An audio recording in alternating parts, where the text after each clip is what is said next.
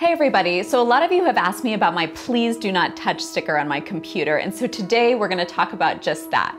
I have with me Richard McCoy, who's trained as an art conservator, but now he works on sort of general architectural conservation, preservation, is that about right? Uh, I like to say cultural heritage. Okay. And that's okay. kind of a funny word, but it captures most everything. So Richard, I said you were trained as an art conservator, but what is an art conservator? Art conservators are kind of the art doctors in a museum. They're the folks that work to restore paintings, to fix sculptures, to take care of costumes and textiles. They're the folks that get to touch the artworks in the museum and to try to make them look better. So you're the person who has to deal with it when other people do touch things they shouldn't. That's right. I used to be a curator in a museum and I had a stack of stickers that said, please do not touch in my drawer. And every time somebody would touch something they weren't supposed to in the museum, I'd get a call and then I'd sort of scamper up to the galleries and put it down as like a first line of defense. Just, you know, before we put up a barrier, let's ask them nicely please don't touch. I put this sticker on my computer because I thought it was funny and because I didn't want people to touch my computer, but it's also indicative of a wider trend of mixed messages out in the art world where they tell you you can't touch it, but sometimes you can. It's confusing. So Richard, let's go through a bunch of artworks and say whether we can touch them and we can't touch them. How about it? Great, this is gonna be fun. Let's figure out what we can touch.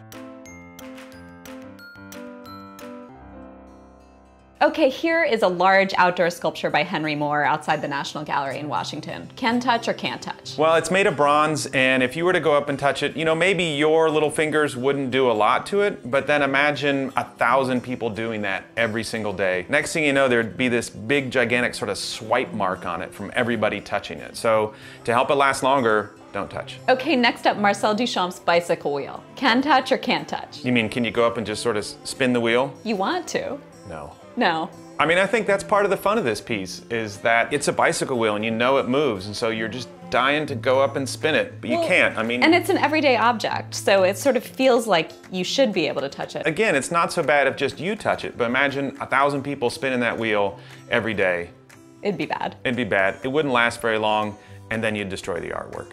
Don't touch. How about this earthwork by Nancy Holt, Sun Tunnels? Yeah, you got to get in there. You have to touch it. You have to interact with it and see how the light works. It's called sun tunnels, and so you want to be in there. That's one that was designed for people to touch. Hardly anything's going to happen. It's going to last a long time out there in the environment, and there's not a lot that you can do to it to damage it. Next, let's look at this Jasper Johns piece. Seems like you might be able to touch it. Can I touch it? Oh man, like you want to go up and just like turn that light switch on Yeah, and make the flashlight. flashlight go and make it work. But I'm guessing no. Yeah, no, I mean, I don't even know how that flashlight's attached to the painting. If you go up and touch it, you know, it might pop off there. I mean, I think part of the mystery of this piece is allowing you to sort of imagine what it would be like with the light working.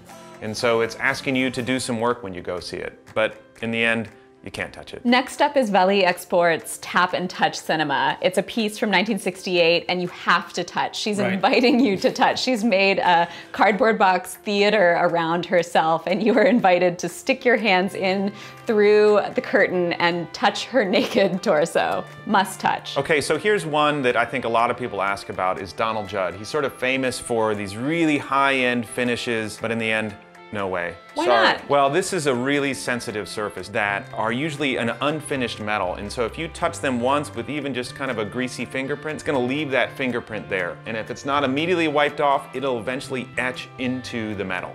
An artwork that I would really like to discuss is Ai Weiwei's Sunflower Seeds at the Tate Modern that was in Turbine Hall. And if I remember correctly, you were supposed to be able to walk on it, but then they had to sort of change their tack. Do you remember what happened? Yeah, that was a really interesting project. I really loved that piece. And you were originally supposed to walk out on it, but in the end, um, as people were walking on those individual sunflower seeds, they were crushing them, and the paint and dust was coming up, and it became a health hazard. It actually became dangerous to people's lungs. So even sometimes artists and museums have to change their approach. They're just looking out for you. A lot of times museums aren't trying to be a buzzkill, but they're trying to keep the artwork safe and they're trying to keep you safe and they have to be responsive to the way things change and the way you interact with it. Can we talk about one of my favorite pieces? Of course, of course. What is it? Great. I love Felix Gonzalez Torres. Me too. And one of the pieces that I like a lot uh, is the candy spill, Right. Which is a pile of candy that's usually in a corner, and it's the weight of his partner. And you are supposed to go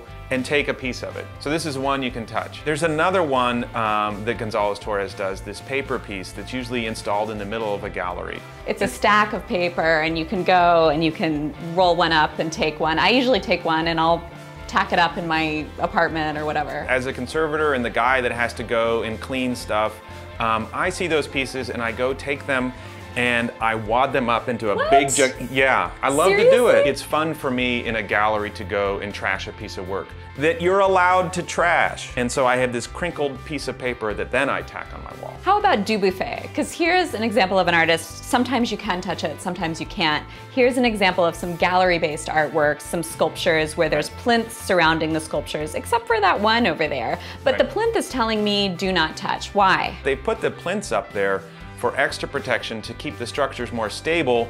In the event you did touch them, you might knock them over and hurt somebody or even the artwork. And so sometimes it's not just about the surface, it's about stability and making sure the artwork is safe. I can respect that. And also the people are safe, more importantly. But here's an example of a Dubuffet where you can touch it. In fact, you're encouraged to, you have to. What are we looking at? This is fiberglass that's been painted white and black, and it's a piece that was designed to be walked on. Even though when you walk on it, you're sort of damaging it, they know that and they're ready to repaint it every so often uh, when it needs it. So this is one that's sort of built with a maintenance plan around it. All right, now what about Jeff Koons? These look sort of like they're in the Donald Judd category, like I probably shouldn't touch them. Yeah, absolutely. I mean, as you can see, they're on pedestals, so they're really trying to keep you away from them. And that's not really for a structural stability. That's because they know people love to try to touch these. And it's the kind of thing, if you touch them, you're gonna leave behind grease and fingerprints, and eventually over time, that's gonna trash the surface. Do you have a rule of thumb of when people want to touch something and when they don't? It's not only the, the kind of material it is, but it's how close it is to touch. So if you can imagine things that are sort of at arm height get touched all the time, but it's also shiny metal things, and it's things that people want to know what they're made of. So that Koons is a really good example because, you know, is it a balloon? Is it metal? Is it plastic? What is it? Can I go up and knock on it? You know, it's in a sense kind of dispelling the myth of what the sculpture is. That's what they're trying to play with. And I think in the end to go up and touch it is kind of cheating. Well, I also feel like when there's kind of these perfect, pristine surfaces, you kind of want to break the law. You kind of do want to mess it up, but you really shouldn't. Well, you know, Sarah, I don't think everybody wants to break the law. There's there's rule followers out there. And so I think part of the problem is folks understanding when they can and can't touch something. Okay. I won't touch it. So I'm still kind of confused. There's a lot of mixed messages. How can we, as an art going public, figure it out? I think being a good citizen in a cultural institution is the same as being a good citizen when you're out in your own town or your own city. So think of the cultural institutions or the religious institutions, monuments and memorials. This is our cultural heritage.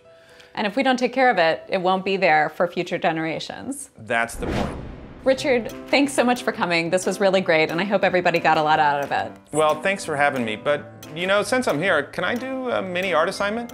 Sure. Okay, so here's your extra credit art assignment. What I want you to do is to go out and find something that you really want to touch that you're not allowed to. Don't touch it, but take a picture of it and then tell us why you want to touch it.